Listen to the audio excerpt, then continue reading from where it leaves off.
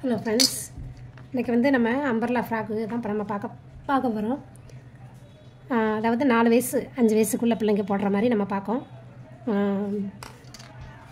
First வந்து நம்ம வந்து அந்த இப்போ நீங்கள் ஒரு ஃப்ராக் அவங்க கொடுக்குறாங்க அப்படின்னா அந்த ஃப்ராக்கோட ஃபுல் லென்த் எடுத்துக்கோங்க. ஃபுல் லென்த்து அப்படிங்கச்சல இந்த டங் இந்த அன் அங்கே ஷோல்டர்லேருந்து இப்போ ஷோல்டர்லேருந்து கீழே எண்டு வரைக்கும் தான் இது ஃபுல் லென்த்து இதுதான் ஃபுல் லென்த்து ஃபுல் லென்த்து எடுத்துக்கோங்க. ரெண்டாவது ஜா இது மார்பு சுற்றளவு. மார்பு சுற்றளவு. இது இடுப்பு பகுதி அப்படின்னா இதுதான் இடுப்பு பகுதி. இது வந்து அக்கல் பகுதி. இது கழுத்து. இது நமக்கு தெரியும். இது ஷோல்டருடைய அகலம். இது வந்து தெரியும். இப்போ இது இது வந்து நமக்கு ஃபுல் லென்த் வந்து எவ்வளவு அப்படின்னா ஃபுல் லென்த் வந்து இருபத்தி எட்டு. அதே மாதிரி மார்பு சுற்றளவு வந்து இருபத்தி ஆறு. அப்போ இருபத்தி அஞ்சு ப்ளஸ் பண்ணிக்கோங்க. ப்ளஸ் பண்ணிவிட்டு பார்த்தா எவ்வளவு? இருபத்தி எட்டு. இது இந்த இடுப்பு சுற்றளவு இடுப்பு சுற்றளவு நமக்கு வந்து பதினொன்று அப்போ இருபத்தி ரெண்டு.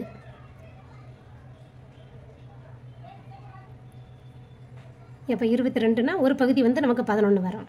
அதே மாதிரி ஃப்ரண்ட் நக்கு அப்புறம் பேக் நக்கு அப்புறம் பாடியோட லென்த்து பாடியோட லென்த்து அப்படின்னு சொன்னால் இதுதான் பாடியோட லென்த்து இந்த ஷோல்டர்லேருந்து இந்த இடுப்பு பகுதி வரைக்கும் உள்ளது தான் பாடி லென்த்து இது க ஸ்கர்ட்டோட லென்த்து அப்படின்னு சொன்னால் இங்கே பாருங்கள் இதில் இருந்து இதுதான் ஸ்கர்ட்டோட லென்த்து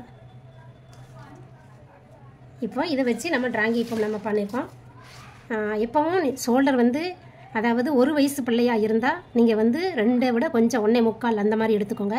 ஒல்லியாக இருக்கிற பிள்ளைங்களுக்கு. ரொம்ப நல்ல குண்டாக இருக்குது அப்படின்னு சொன்னால் நீங்கள் கரெக்டாக ரெண்டு ரெண்டே கால் அப்படி எடுத்துக்கிடலாம்.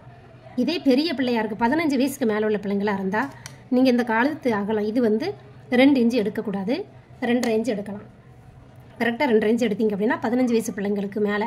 இப்போ அதாவது ஒரு பதினாலு வயசு பத்து வயசு பதினாலு பன்ன பதிமூணு பதினாலு வயசு உள்ள பிள்ளைங்களுக்கு நீங்கள் ரெண்டரை இருக்கலாம் அதே மாதிரி இந்த சோ இது வந்து கழுத்து அகலம். கழுத்து அகலம் சின்ன பிள்ளைங்களுக்கு இப்போ வந்து நான் ரெண்டு ரெண்டரை இன்ச்சு வச்சுருக்கேன். மூணு இன்ச்சு வச்சுக்கலாம். உங்களுக்கு அகலம் எவ்வளவு தேவையோ அந்த நீங்கள் கொடுக்குற உங்களுக்கு அந்த ட்ரெஸ் கொடுக்குறதுல இந்த அகலம் எவ்வளவு இருக்குன்னு சொல்லி அளந்து பார்த்துக்கோங்க. இந்த கழுத்தில் இருந்து இந்த சோல் இந்த ஆமோல் ரவுண்டு பகுதி வரைக்கும் அளந்து பார்த்துக்கிட்டு இது எவ்வளவு அப்படிங்கிறத நீங்கள் போட்டுக்கோங்க. இது வந்து நான் இப்போ ரெண்டரை. ப்ளஸ் நான் தையலுக்காக கால் இஞ்சி போகும். அதனால் நான் ரெண்டே முக்கால் வச்சுருக்கேன். இங்கே கால் இஞ்சி தையலுக்கு போகும். அதனால் நான் இப்போ ரெண்டே முக்கால் இஞ்சி வச்சுருக்கேன். அதே மாதிரி இது வந்து முன் முன் பின் கழுத்து. பின் கழுத்து வந்து நமக்கு எவ்வளவு அப்படின்னா மூணு இன்ச்சு. முன் கழுத்து நாலு இன்ச்சு. இது மூணு இன்ச்சு இது நாலு இன்ச்சு. அதே மாதிரி பாடி சுற்றளவு வந்து இப்போ இருபத்தி இப்போ மார்பு சுற்றளவு வந்து இருபத்தி ஆறு ப்ளஸ் ரெண்டு வச்சுருக்கோம். அப்போ இருபத்தி எட்டு. அப்போ இருபத்தி எட்டை நாலாக டிவைட் பண்ணும்போது நாலாக டிவைட் பண்ணும்போது உங்களுக்கு ஏழு இன்ச்சு வரும். இப்போ இந்த பகுதி ஏழு இன்ச்சு இதில் ஒரு இன்ச்சு நீங்கள் தையலுக்காக விட்டுக்கோங்க. இதே பதினஞ்சு வயசு பிள்ளைங்களுக்கு தைக்கிறீங்க அப்படின்னு சொன்னால் குறைஞ்சது ஒன்றரை இன்ச்சாவது நீங்கள் விட்டுக்கோங்க. ஏன்னா நமக்கு பிள்ளைங்க பெருசாகும் போது நம்ம பிரித்து விட முடியும். ஆனால் இப்போ வந்து பிள்ளைங்க சின்ன பிள்ளைங்களாக இருக்கிறதுனால பிள்ளைங்க வளருவாங்க.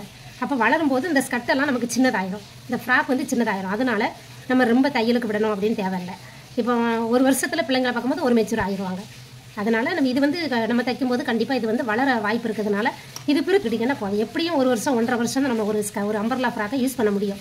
அதனால தான் நான் இதில் ஒரு இன்ச்சு விட்டுருக்கேன்.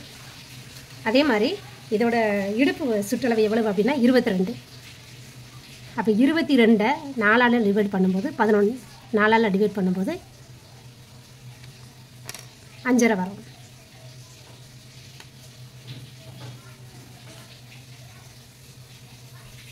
அஞ்சரை இன்ச்சு வரும் அப்போ அஞ்சரை இஞ்சி இங்கே நான் வச்சுக்கிட்டேன்.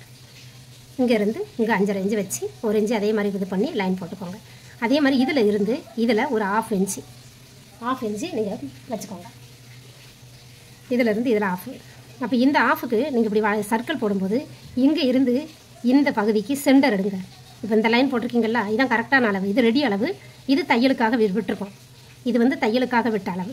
தையலுக்காக விட்ட ஒரு இன்ச்சு இதை நீங்கள் மைண்டில் எடுக்கக்கூடாது. இதுதான் உங்களுக்கு ரெடி ஆகும். இப்போ இந்த ரெடி அளவில் இருந்து இதில் சென்டர் பாருங்கள் அப்போ சென்டர் வந்தோடனே இந்த ஆமல் இந்த இந்த இந்த ஸ்கேலை வச்சு சாதா ஸ்கேலை வச்சு பண்ணிங்கன்னா ஸ்ட்ரெயிட்டாக வரும். அப்போ இதுனா கொஞ்சம் உங்களுக்கு கேர்வ் மாதிரி கொஞ்சம் வளைஞ்சு வரும். அதுக்காக தான் இந்த ஸ்கேலை வச்சு பண்ணேன் இதுதான் இதோட டாப் போர்ஷன் இப்போ கீழே உள்ள ஸ்கர்ட்டை வந்து நம்ம பார்க்கலாம். என்னோடய ஸ்கட் இப்போ நமக்கு வந்து இடுப்பு சுற்றளவு எவ்வளோ எடுத்திருக்கோம்? அஞ்சரை ப்ளஸ் ஒன்று அப்போ ஆறரை கிட்ட நம்ம எடுத்திருக்கோம்.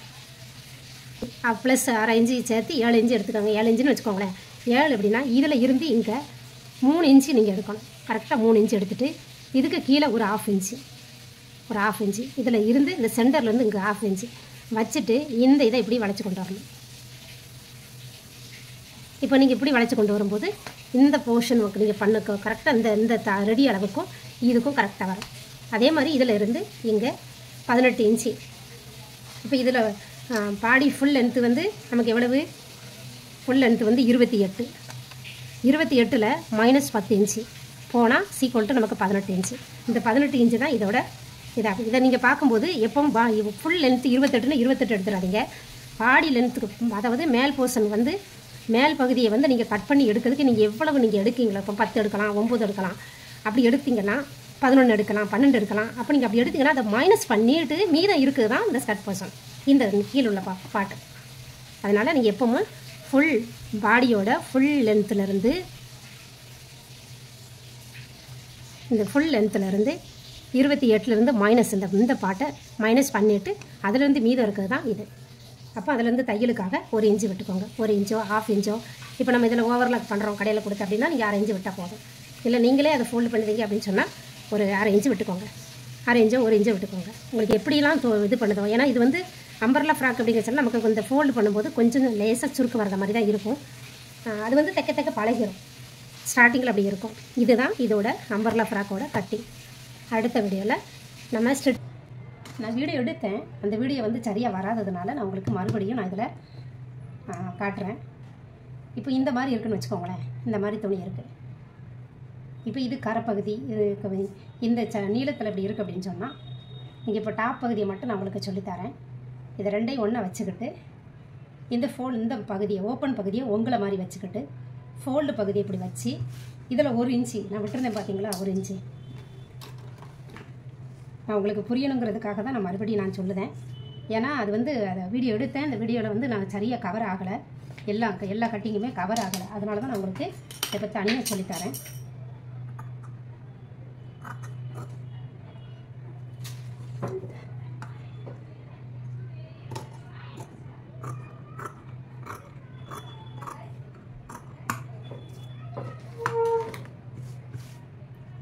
இது ஓப்பன் பகுதி. இது ஃபோல்டு பகுதி. இப்படி ரெண்டாக ஓப்பன் பண்ணிக்கிட்டு இதை இந்த இடத்துல ஒரு இன்ச்சு அளவுக்கு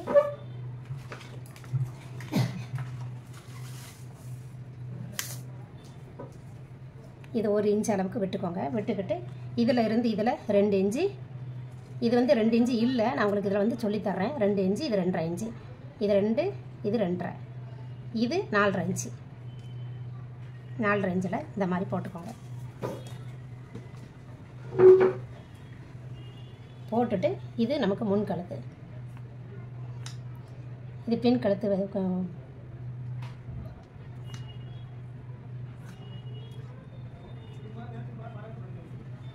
இப்போ இது பின் கழுத்து இது முன் கழுத்து. இது முன் கழுத்து ஃப்ரண்ட் நக்கு இது பேக் நக்கு இது ஃபுல் பாடி இங்கேருந்து இங்கே நமக்கு ஏழு இன்ச்சு இங்கே நமக்கு வெஸ்ட்டு வந்து ஆறு இன்ச் வரும் இப்போ ஆறு இன்ச்சில் நான் உங்களுக்கு மார்க்கிங் போட்டேன். இப்போ இதில் இருந்து இதில் ஆஃப் இன்ச்சு இந்த ஆஃப் இன்ச்சு என்ன பண்ணலாம் அப்படின்னு சொன்னால் இப்போ இதில் இந்த இடத்துல இருந்து இந்த இடத்துக்கு நீங்கள் ஒரு மார்க் இப்போ இதில் எவ்வளோ இருக்குது அப்படின்னு பாருங்கள் ரெண்டே முக்கால். இப்போ இதில் பாதி நீங்கள் இப்படி எடுத்துக்கிட்டு இந்த ஆஃப் இன்ச்சுக்கும் இந்த ஆஃப் இன்ச்சுக்கும் இப்படி லைன் போட்டுருங்க. அது உங்களுக்கு ரொம்ப ஈஸியாக இருக்கும். அதுக்காக தான் சொல்லுதேன்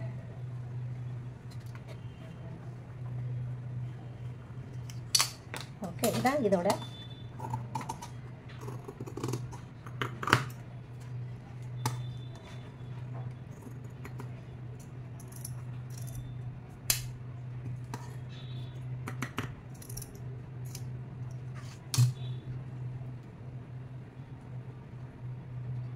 இப்போ இந்த இடத்துல இங்கே சிசர் கட்டிடலாம்.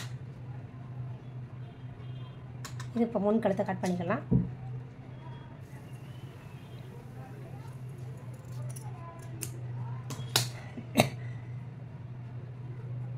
பாருங்கள் இது இப்போ நமக்கு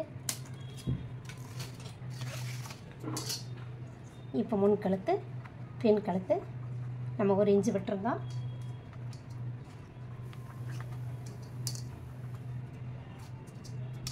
இப்போ இதை இப்படி ஃபோல்டு பண்ணி ஜிப்பு வைக்கும்போது நமக்கு கரெக்டாக இருக்கும்.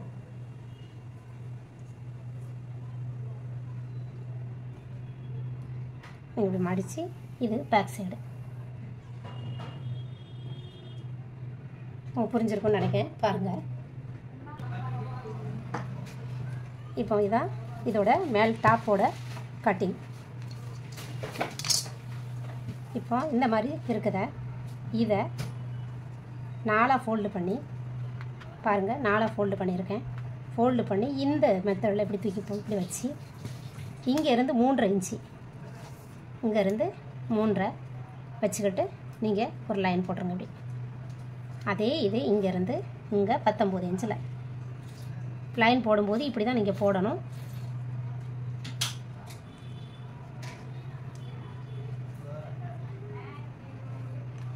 இதுதான் இதோட. இந்த மாதிரி தான் நான்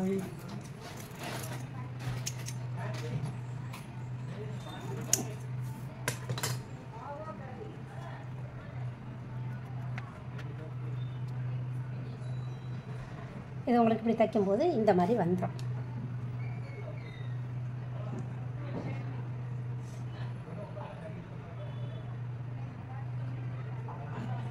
இப்போ ரெண்டு பீஸ் இருக்குது நீங்கள் இது இப்படி வச்சு நீங்கள் அளந்து பார்த்தீங்க அப்படின்னு சொன்னால் உங்களுக்கு கரெக்டாக வரும். இதுதான் அம்பர்லா ஃப்ராக்கோட இப்போ நீங்கள் இப்படி பண்ணும்போது உங்களுக்கு நிறைய அப்படி சுருக்கு வந்து இங்கே சுருக்கி தைக்க வேண்டாம். இதுதான் நமக்கு இதோட மெத்தட் இப்போ புரிஞ்சிருக்கோம் அப்படின்னு நினைக்கிறேன். அடுத்த வீடியோவில் நம்ம ஸ்டிச்சிங் எப்படி அப்படின்னு சொல்லி பார்க்கலாம்.